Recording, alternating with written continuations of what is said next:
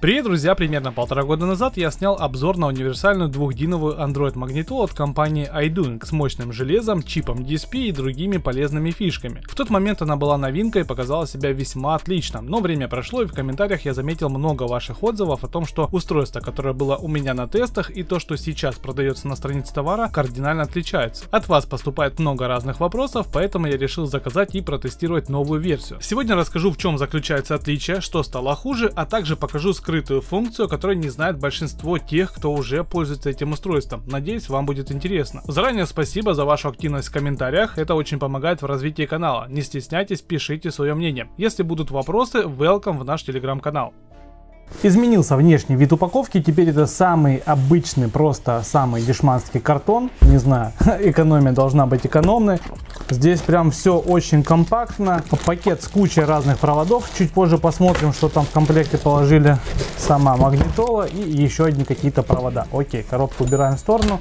Да, действительно, она стала гораздо больше. Вот так сбоку можно посмотреть. С передней стороны ничего не изменилось. Абсолютно то же самое. 7-дюймовый дисплей. Сверху установлено 2,5 ND стекло. Если обратить внимание, то сам дисплей устоплен вот туда в рамку примерно на 3-4 мм. Сбоку у нас расположен микрофон, кнопка перезагрузки, сенсорные кнопки управления с подсветкой. Причем раньше была RGB подсветка, сейчас только красная. Хотя в настройках можно типа выбрать цвет, но нифига не меняется. И осталась вот эта вот крутилка громкости, которая очень многим нравится. Сверху есть подробная схема всех подключений. Кому интересно, можете поставить на паузу. Задняя часть магнитола выглядит следующим образом. Здесь у нас подключение GPS антенны, подключение 4 4G антенн, модульное подключение всех проводов, которые идут в комплекте, и теперь ISA разъем уже встроен в саму магнитолу. То есть раньше был провод, который отдельно подключался да, через коннектор, теперь все это дело подключается вот так напрямую. Если вдруг у кого-то другое подключение, то в любом магазине автоакустики продается такой коннектор, стоит 50 рублей. Ну и для сравнения, вот так выглядит в принципе стандартная 7-дюймовая Android магнитола. Можете оценить размеры. Вот это теперь стало гораздо глубже. Передняя часть устройств, видите, да, вот стандартный вариант, где дисплей просто утоплен туда в рамку. И здесь у нас сенсорное стекло расположено прямо сверху. Конечно, вот этот вариант визуально мне нравится больше. Точные габариты этого корпуса у вас на экране. Теперь давайте посмотрим, что идет в комплекте с проводами. Первый пакет здесь у нас GSM антенна и встроенный модем. Интересно упаковали GSM антенну. Теперь она в таком мягком как бы кожухе, да, чтобы ничего там под панели не гремело. Ну и соответственно подключение самой антенны. Дальше выносной разъем для установки сим-карты, то есть магнитола поддерживает 4G сеть, можно установить сим картинку и пользоваться интернетом. Это удобно. Окей. В отдельном пакете куча разных проводов, монтажные лопатки для протяжки провода, какие-то монтажные пластины,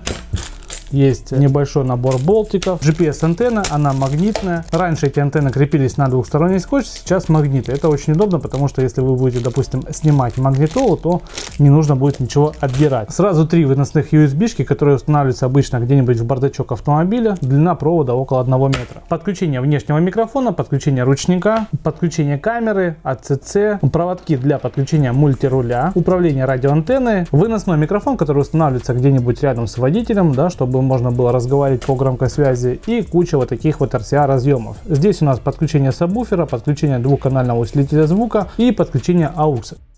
Давайте пробежимся по характеристикам. Здесь установлен самый популярный на сегодняшний день 8-ядерный процессор Unisoc 7862, который устанавливается во все нормальные автомобильные Android устройства. Под словом нормальный я имею в виду не те, которые продаются за 3, 4, 5 тысяч рублей, а те, которые стоят от 300 долларов на AliExpress. Например, все новые магнитолы TIS работают на этом процессоре, и если вы хотите купить себе подобное устройство, которое не будет виснуть на каждом повороте, рекомендую искать именно с этим процессором. Все-таки предыдущие PX6 и тем более PX5 уже не не актуально и покупать их точно не стоит. Дальше 4 оперативной и 64 встроенной памяти. На мой взгляд это золотая середина для нормальной работы устройства. Сегодня в продаже есть версии, в которых установлена память 8256. Больше всегда лучше, но зачем столько памяти в автомобильных магнитолах, лично мне не совсем понятно. Если у вас есть аргументы в пользу большого количества памяти, напишите в комментариях. Также на борту двухдиапазонный Wi-Fi, GPS и GLONASS, хороший радиочип NXP 6686 с поддержкой RDS и отдельный чип DSP с 32-полосным эквалайзером и кучей различных настроек звука. В качестве встроенного усилителя звука все тот же популярный TDA 7850, который встречается в 95% подобных магнитол на системе Android. Как показывает практика, звучание этого усилителя очень достойное и нравится практически всем автомобилистам, но на улице уже 2023 год и хотелось бы чего-то более интересного. Китайцы явно положили болт на то, чтобы работать над улучшением качества звука. Типа микросхема хорошая и так продается нормально.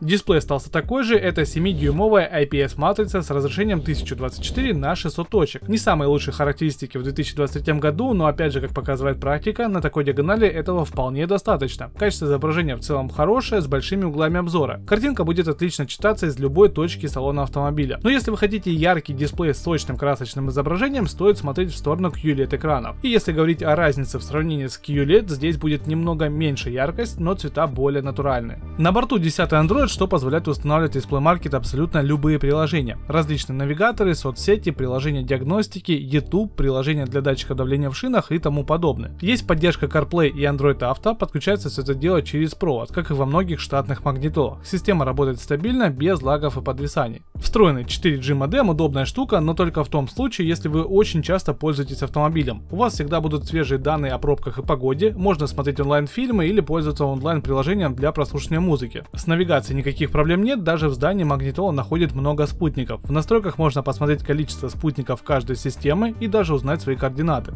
В плане звука технически ничего не изменилось, поэтому звучание будет такое же, как в прошлой версии. Повторюсь, что TDA 7850 дает вполне хорошее звучание штатных динамиков. Но если вы хотите чего-то большего, в любом случае необходимо устанавливать усилители звука. Благодаря установленному DSP чипу, то есть это уже не просто программная обработка, а именно отдельно установленный чип, который отвечает за настройки звука. Благодаря этому чипу мы получили больше возможностей. Смотрите, здесь у нас есть 15-полосный эквалайзер, все это дело настраивается. Также есть готовые предустановки. В принципе, все как и в обычных магнитолах, но также появилось меню настройки дополнительные. Здесь есть меню перед-зад, то есть пропорции мы включаем. И теперь у нас получается 15-полосный отдельный эквалайзер для передних колонок и Смотрите, 15-полосный эквалайзер для задних колонок. То есть передние и задние колонки мы можем настраивать отдельно. Это очень круто. Дальше у нас идет настройка позиции слушателя. Здесь в принципе все стандартно. Настройка объемного звука. То есть мы можем настроить отдельно каждый динамик. Здесь настраивается у нас задержка по динамикам. Мы можем это включить, выключить. И также задать смещение на задние либо передние динамики. Дальше у нас идет настройка низких частот. Мы можем выбрать частоту и ее усиление. Помимо этого есть отдельная кнопка для сабвуфера. У нас здесь настраивается громкость, есть включение либо включение усилителя и настройка срезов, то есть верхние низкие частоты. И также есть фильтр басов, что тоже очень прикольно. Допустим, если вы не хотите, чтобы на динамике шли низкие частоты, здесь все это дело подрезается. Этот вариант отлично подойдет, если у вас отдельно установлен сабвуфер. Поэтому на динамиках подрезаем, сабвуфер отдельно настраиваем и получаем вполне хороший звук. Итак, друзья, вот я о чем говорил. Смотрите, здесь настраивается частота среза. Мы можем убирать низкие высокие частоты, то есть на динамике будут идти только средние и высокие частоты. Слушаем, как это играет.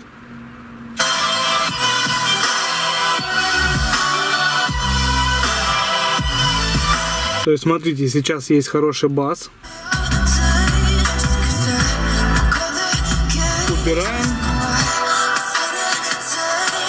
звук становится абсолютно плоский. Лаунчер вполне обычный, без кучи различных фоновых приложений, за счет чего температура процессора в простое около 40 градусов и даже во время стресс-теста температура не поднималась выше 70 градусов, что очень хорошо. Итоги 15-минутного стресс-теста у вас на экране, здесь с этим все в порядке, процессор не тротлит. Из коробки лаунчер выглядит следующим образом, это стартовая страница и вторая страница со всеми нужными приложениями. Здесь у нас есть навигация, радио, дата и время, музыкальный плеер и вот проблемы с переводом синий зуб это подключение по Bluetooth. В этом приложении вы можете набрать номер вручную, позвонить кому-то, либо синхронизировать из списка контактов смартфона. Также здесь доступно прослушивание музыки с вашего смартфона. На кнопку навигации можно установить абсолютно любое нужное приложение. В моем случае это Яндекс Навигатор. Приложение радио выглядит следующим образом. Как я уже сказал, здесь есть поддержка RDS. Память у нас на 18 станций. В нижней части еще 5 кнопок. Первая кнопка открывает видеоплеер для просмотра опять же видео с флешки. Все читаемые форматы формат у вас на экране. Дальше переход в эквалайзер, переход в основное меню, где расположены все ненужные приложения, переход в основные настройки и файл менеджер. Сверху вниз открывается стандартная шторка Android. Здесь у нас есть режим для глаз, с помощью которого включается более теплое изображение. Возможно, кому-то будет приятно. Можно выключить полностью экран. Также мы можем, допустим, включить заставку в виде даты и времени. В основном меню можно найти все установленные приложения, которые есть в этом устройстве. Здесь у нас из интересного это настройки мультируля. Дальше переход в основные настройки и все в этом роде. Даже есть калькулятор. Ну теперь самая главная фишка, да, которая скрыта в настройках. Необходимо зайти в настройки устройства. Здесь в принципе да, все то же самое, как и в другой магнитоле, поэтому не буду повторяться, покажу самое интересное. Переходим в графу заводские настройки, наводим пароль 3368, нажимаем ОК и здесь находим настройку выбор Home Launcher. Нам доступно 4 варианта, 0.5 у нас уже установлен, давайте выберем 0.4 и лаунчер у нас меняется. И самое интересное, на мой взгляд, это 13 лаунчер,